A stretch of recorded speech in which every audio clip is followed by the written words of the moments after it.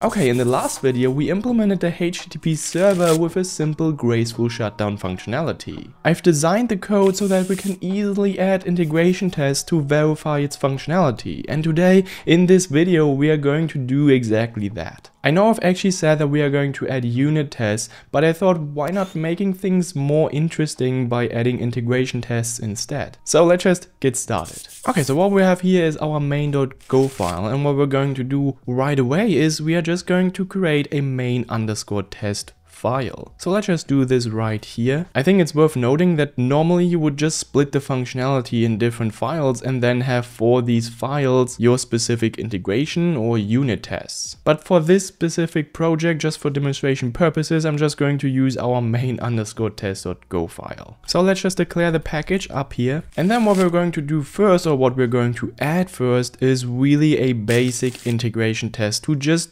verify the successful graceful shutdown of our HTTP server. So what we can say is just declare another function here, which we will call test server graceful shutdown. And then we use the normal testing.t pointer here. And this integration test just should test or verify that our server really can gracefully shut down while allowing active requests to really complete successfully. You can think of this test as our happy path. So what we'll create first here is our really basic test server with a simple handler that just simulates work. So we can say server server and then we just create this server here. Now if you watch the first video I think you should be quite comfortable with this logic right here. Then we declare the address which we are going to specify as 54332. Now feel free to use a different more not used port here. There is also a way of getting a dynamic port that is not really used on the system but we are not going to focus on that and we are going to really simplify the integration test here. And then what we're going to do is we are going to create an inline handler function function for this test to simplify the request handling. So we say just handler and then we declare http.handlerfunc. And in this handler function, we're just going to sleep for two seconds. You can obviously decrease the time here if you really want to. And then we're going to write a really simple response back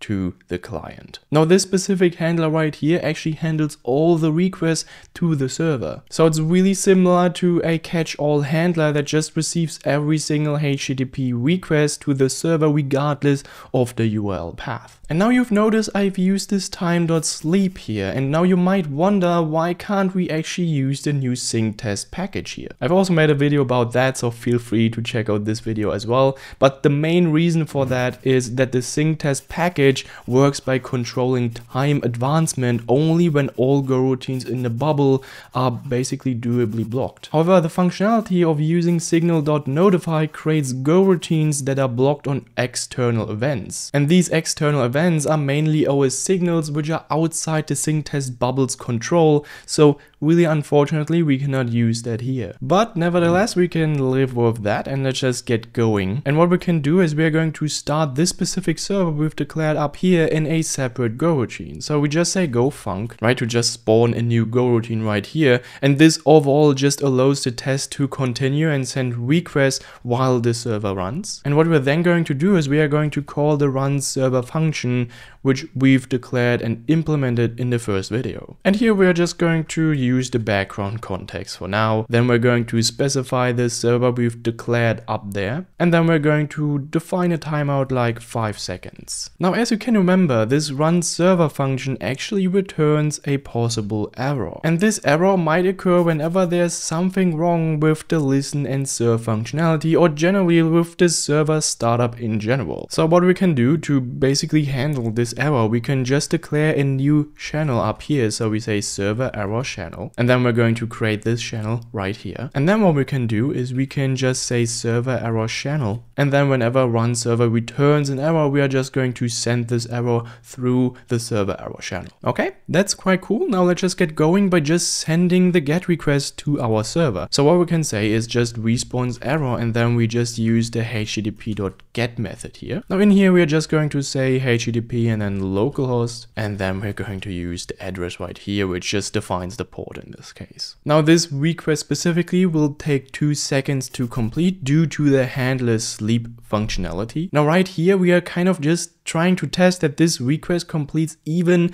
when we shut down the server. And we are going to do that after that directly with the syscall.kill functionality. And in here, we're just going to say syscall.getPID, which just gets the process ID of the currently running process. And then we're going to say syscall.sigint, or you could even use sigterm, for instance. And this syscall.kill function just sends the sigint signal to our own process, which we've identified through this getPID functionality. Now, what we're then going to do is we are just going to verify basically that our HTTP request succeeded despite the shutdown signal. This just proves that the graceful shutdown functionality is working correctly. So right here, if the error basically exists, then we're just going to say t.fatalf and then unable to send request to server and then we use percent %v right here. Now generally you can use fatal F or error F, but fatal F is kind of special because you should use it when you want that no further checks are made and the test should fail instantly, which we do want in this case, right? Okay, now with that in mind we can just check the response code by just saying resp.status code is not equal to status okay. I forgot the if right here so let's just add this. And right here we just just check that we received a successful HTTP status code. And this just confirms that the request was processed completely. And you can use errorf right here to basically say that the test should fail, but you might check other things as well going on or going down the line of this test, right? So it will just not terminate the whole test entirely with this line. It will just say, okay, fail, but then please proceed with the test and check possible other things as well. So right here, we just say expected 200 status okay. And then we say got and then percent %d. And here we say response.status code. Right? Quite simple. Now let's just read and verify the response body and we can obviously do this with the io.readAll function right here. And then we just specify the body right here as well. Now this just reads the response body until an EOF and returns it as a byte slice. So we can say body right here and then error, right? Obviously it returns a possible error as well. And if the error is not equal to nil, we are just going to say fatalf, because then we do not really want to proceed with any sort of checks or functionality of this test unable to read body and then we say percent %v error, right? And this verification and reading of the body just ensures the handler completed its work before the server shut down. And then we're going to verify we got the expected response content. So what we can say is just if string body and then is not equal to completed. Because remember, we actually returned here, or we directly wrote a byte slice, which just contains the completed string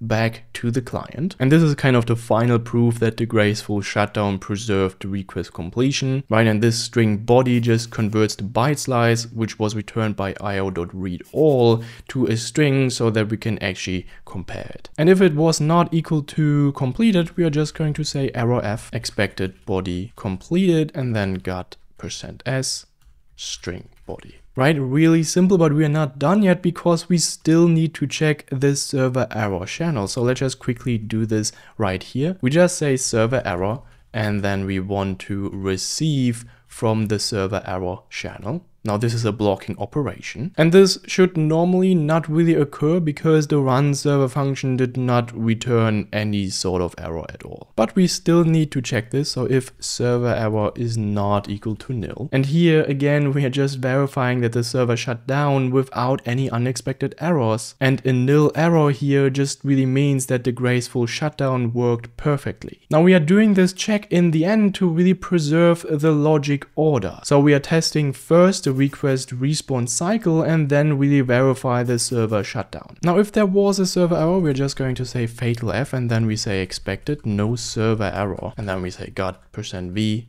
and then server error. Okay, quite cool. This is our first test. Now if we're just going to run this test by just saying go test right here, we see that this specific test was completed successfully. Okay, that's quite cool. Now we've actually tested the happy path. So let's just test the unhappy path. And we are going to call this integration test just test server timeout during shutdown. Now this just verifies or should verify what really happens when requests take longer than the shutdown timeout. In this specific case, the server should forcefully close connections and we are going to test this right here. Now again, we are just going to create our test server right here. So we just say server and then http.server. Now in theory you could just create a simple utility function that will just generalize this test server creation, but I'm just going to copy that right here and then paste this right here. Now we are going to change the port because it's a different test. And then we are also going to adjust the timeout to 10 seconds. And we are going to create a few things here and we are going to use multiple channels and goroutines here to really coordinate concurrent operations that just need to happen simultaneously. Now this is kind of necessary because in the end the test needs to verify that when the shutdown times out. So both the client fails and the server returns the deadline exceeded error. And without the help of goroutines, these blocking operations really couldn't run concurrently. And that's why we will use multiple goroutines and multiple channels. So let's just do this right away. Now we are going to create this really basic server error channel here again, really similar to our first server error channel we've defined in the first test. And here we are going to create this channel. Now this is just again the channel to receive the server's final error status. And here we are going to expect this to be a timeout error since the graceful shutdown will fail. Then we're going to spawn a new goroutine. And in here, we are just going to start the server with a very short shutdown timeout, which will be around 5 milliseconds. And this just guarantees that the 10 second request will not really complete in time. So what we can do is just say server error channel, and then we're going to send the error through this channel, which will be returned by the run server function. Here we're just going to say context of background, we're going to specify the server and then we're going to use 5 milliseconds right here. Okay, this is all we need right now. Now let's just create another goroutine right here. And in this goroutine, we will actually send a request that will be interrupted by the forced shutdown. So we can basically just use the http.get functionality right here again. And then we use localhost and then we just use the server address here. Now this request will pretty much just start, but never really complete successfully. And the connection right here will be forcefully closed during during the shutdown. And then we obviously need to propagate this error somehow through a channel as well. So let's just define a new channel, which we will call request error channel. And then we say make channel error. Then we're going to say request error channel, and we are going to send this error through here. Now again, this channel is just there to really capture any sort of error from the client request. All right, and then we are going to actually sleep one second. I'm going to explain why we are doing this in a minute. And then after that, we are again going to kill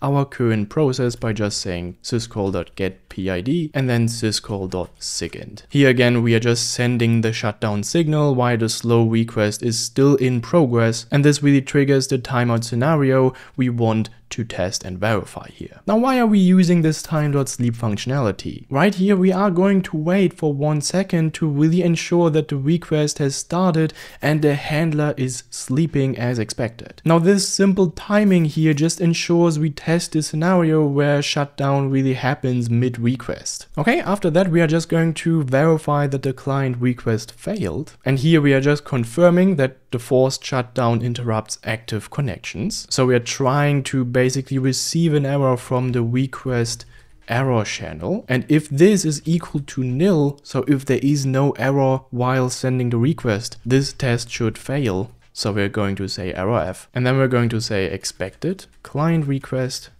to fail, but it succeeded, right? So this is a blocking operation right here. So it really blocks until a value is available on this specific channel. Okay, and then what we're going to do is we are going to wait for the server to complete its shutdown process and get the error back. And we are doing this by just defining the server error here. Again, this is a blocking operation because we are trying to receive a value from a channel. So we say server error channel right here. And then we're going to verify that we got the expected timeout error, which should be context dot context.deadline exceeded. And this context.deadline exceeded error just indicates that the graceful shutdown really timed out. And this overall in the end just proves our timeout mechanism is working correctly. So we can check right here if errors dot is, or in this case not, and we say server error. And then we're going to use the deadline exceeded error right here. So if it's not the deadline exceeded error, we are just going to error f this test as well. So we say here expected context.deadline exceeded error and then got percent %v server error. Okay, quite cool. And if we run this test here again, what we will see is that both tests actually work correctly. And then we can use dash v here as well to actually see what is going on with the specific integration tests. But that should be it and that's also it for these two integration tests that you can use to test the functionality of our graceful shutdown. Now if you are curious about the first part, feel free to check out this video here. Anyway, thank you so much for watching, have a lovely day and bye bye.